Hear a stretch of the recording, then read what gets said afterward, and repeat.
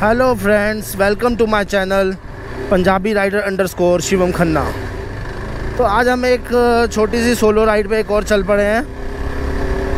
Last time भी आपके साथ मैंने बहुत सरप्राइज़ खेला, मगर आज मैं आपको पहले ही बता देता हूँ कि हम कहाँ जा रहे हैं। हम ऋषिकेश से होते हुए नीलकंठ महादेव मंदिर जा रहे हैं। जैसा आप देख रहे हैं, अब हम रिस्पना पुल पहुँच चुके हैं। हरिद्वार बाईपास रोड से हम आ रहे थे। तब आप हरिद्वार बाईपास रोड से आओगे आई की तरफ़ से। तो आपको यहाँ से राइट टर्न लेना पड़ेगा ऋषिकेश के लिए।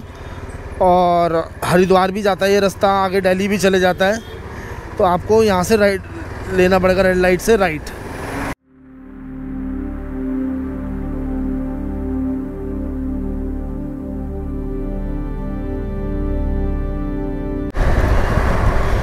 जैसा आप देख रहे हैं, अब ये toll booth head toll plaza आ गया है 500 मीटर पे।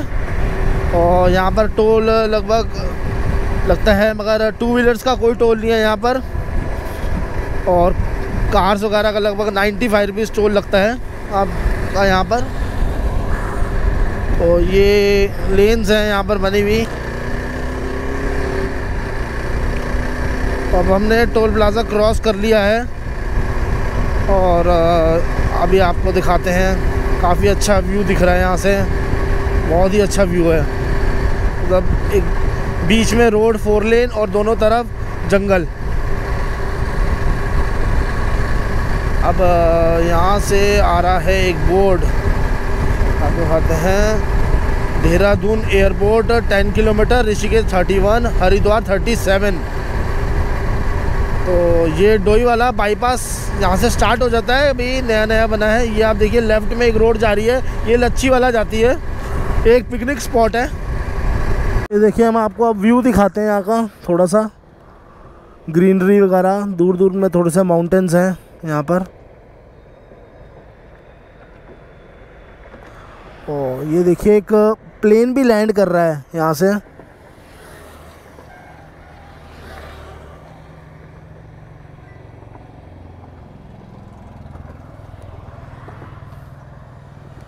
देखिए एक और, आपके लिए एक और व्यू लाए हम। ये देखिए, काफ़ी अच्छा व्यू है, ये देखिए। ये नदी काफ़ी अच्छी चल रही है। इस नदी का नाम सोंग रिवर है। और ये देखिए, अच्छी बारिशों में बहुत अच्छी चलती है ये रिवर देखिए, जैसे आप देख रहे हैं कि ये बोर्ड आ रहा है एक। यहाँ पर लेफ़्ट को जाना है हमने ऋषिकेश 25 किलोमीटर। और देहरादून एयरपोर्ट 7 किलोमीटर। अगर आप ये पुल चढ़ेंगे तो आप हरिद्वार और दिल्ली के लिए निकल जाएँगे। हमने यहाँ नहीं जाना, हमने लेफ़्ट यहाँ से स्लाइड लेफ़्ट लेना है। तो हम यहाँ से हम स्लाइड लेफ़्ट ले रहे हैं।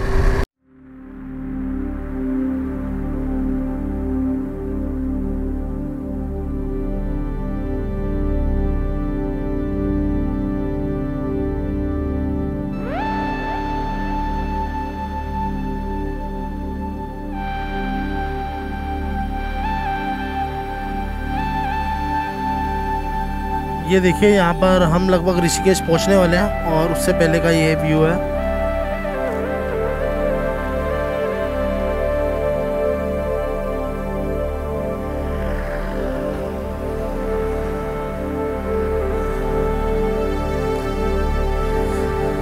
ये एक काम स्टार्ट चल रहा है यहाँ पर रेलवे का। आ, काम जो है ये करण प्रयाग रेलवे लाइन है जिससे आपको आने वाले टाइम में चार धाम की यात्रा करने में काफ़ी आराम रहेगा। आपको बता दें यहाँ पर काफ़ी होटल्स हैं टूरिस्ट प्लेस एक्चुअली ये हो गई है, है और काफ़ी होटल्स हैं रिसोर्ट्स हैं फार्म्स हैं धर्मशाला हैं। तो आप आइए ज़रूर यहाँ पर इससे हमारे यहाँ का टूरिज़्म भी बढ़े। वैसे आपने सुना ही होगा, उत्तराखंड को देवभूमि भी कहा जाता है। देवों की भूमि और ऋषिकेश को नाम इसलिए पड़ा है ऋषिकेश की ऋषियों की नगरी। ऋषिकेश का मतलब यह है ऋषियों की नगरी। तो यहाँ पर कई इन पहाड़ों में हमारे देवभूमि के ऋषिकेश में कई ऋषियों ने तप किया है यहाँ पर। तो इसलिए नाम से उनके ये कहलाता है ऋषिकेश। जैसा आप देख रहे हैं, हम ऋषिकेश घुस चुके हैं, यहाँ पर अंदर एंटर कर चुके हैं। ये देखिए, यहाँ का ये फ़ेमस गुरुद्वारा है, गुरुद्वारा हिमकुंड साहिब। ये देखिए, एक सीधा रास्ता जा रहा है। वैसे ये भी सीधा रास्ता नीलकंठ महादेव के लिए जा रहा है। अगर आप फोर व्हीलर से आ रहे हैं तो आप सीधा जाइए। और आपको अगर टू व्हीलर से जाना है तो आप यहाँ से राइड कर सकते हैं। काफ़ी ट्रैफ़िक हो रहा है अभी जाम हो रहा है। देखिए, एक नया पुल बना है यहाँ पर अभी। ज़्यादा टाइम नहीं हुआ से लगभग डेढ़ से दो साल हुए होंगे अभी। पैदल मार्ग अलग है और बाइक्स, वाहनों का मार्ग अलग है। ये देखिए, ये है हमारी महागंगा।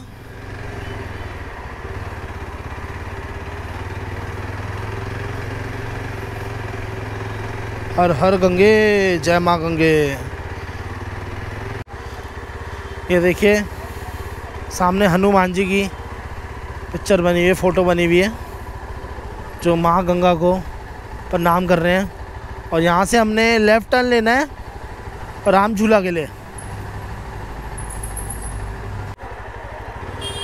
देखिए, यहाँ पर काफ़ी दूर दूर से लोग आते हैं फ़ॉरेन से भी आते हैं, और ये काफ़ी इस जगह पे भीड़ रहती है।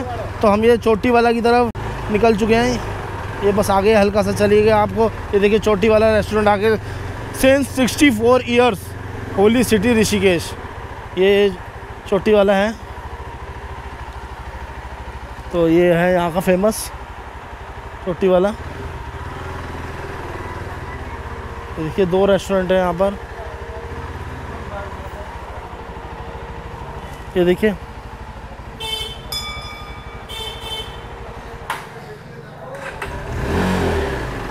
हम आगे देखिए, अगर आप दिल्ली से और देहरादून से आ रहे हैं बाय फोर व्हीलर तो आप इस रास्ते से आएँगे जो आपको मैंने बताया था, मैं वहाँ से राइट टर्न लिया था और आपने स्ट्रेट जाना है तो आप इस रास्ते से आएँगे, यहाँ पर। और यहाँ से आपने लेफ़्ट टर्न लेना है और ये नीलकंठ महादेव के लिए निकल जाना है मंदिर के लिए।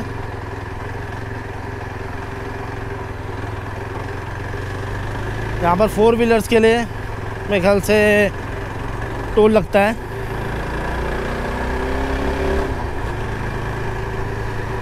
काफ़ी अच्छा नज़ारा है यहाँ का। मतलब बारिश थोड़ी सी रोड ख़राब हो जाती है अक्सर यहाँ पर। आपको छोटे छोटे इस टाइप के पानी के वो भी मिलेंगे यहाँ पर, रोड में आते हुए पानी के। ये देखिए, आपने देखा? तो काफ़ी मतलब रास्ता टोटली लगभग थोड़ा सा एडवेंचर है। नॉट सो यहाँ देखिए ये रिवर राफ्टिंग हो रही है, नीचे। ये देखिए, आपको जूम करके दिखा रहा हूँ कि यहाँ पर लगता है ये, कुछ टाइम पहले ये नदी आई है ऊपर से लगता है यहाँ पर कहीं बादल फटा होगा। तो ये ऐसी बिल्कुल पहाड़ में के बीच में नदी आ रही है, ऊपर से बन गई है ये, और यहाँ लगभग बादल फटा होगा। तो इस वजह से ऐसा हो रहा है, ये दिख रहा है। बाकी व्यू तो बहुत अच्छा है यहाँ का।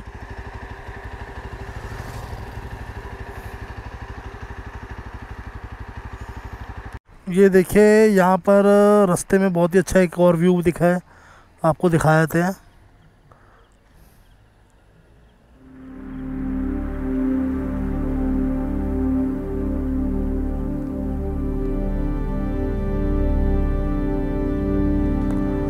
बहुत ही अच्छा व्यू है। जो नीलकंठ महादेव मंदिर है, पौड़ी गढ़वाल में आता है।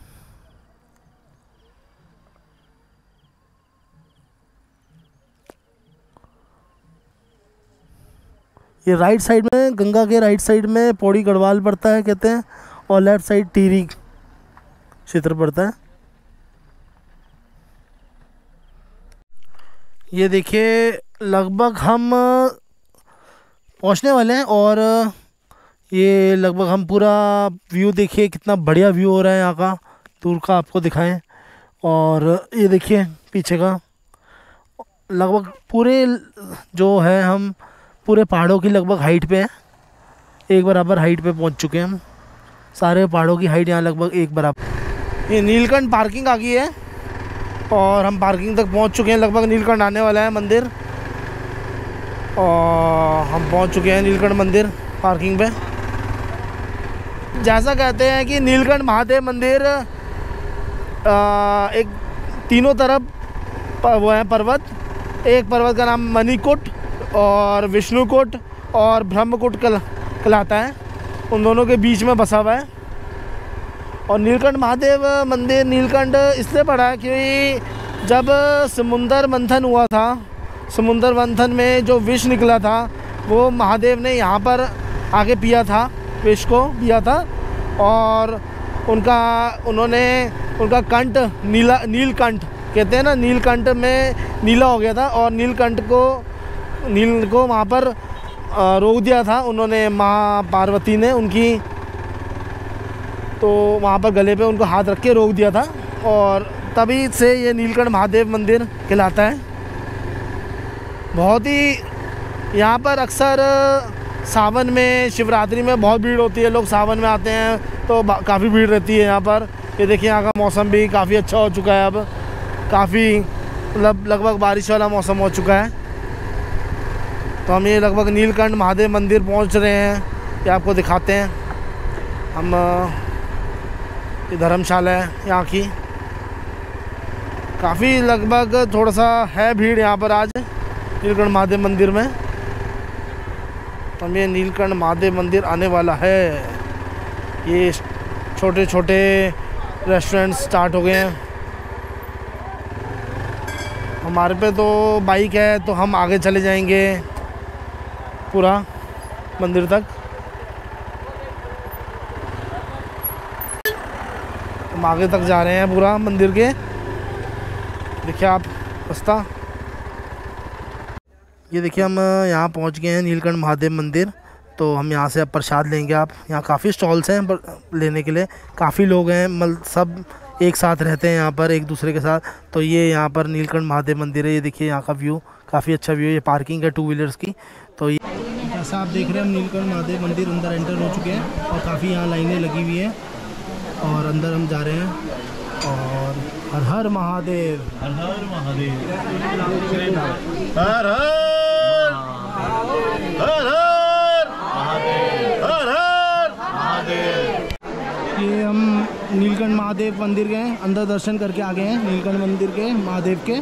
अंदर वीडियो चलाना अलाउड नहीं है कैमरा चलाना अलाउड नहीं है। For safety reason. तो अब हम आ चुके हैं आपको दिखा दें। तो देख सकते हैं, ये यहाँ का प्राचीन पानी है। लोग यहाँ आते हैं, इसमें स्नान करते हैं और फिर मंदिर दर्शन करने जाते हैं। मगर अब काफ़ी लोगों ने कम कर दिया स्नान करना। तो ऐसे जब भी चले जाते हैं, मुँह हाथ धो के हम भी गए हैं।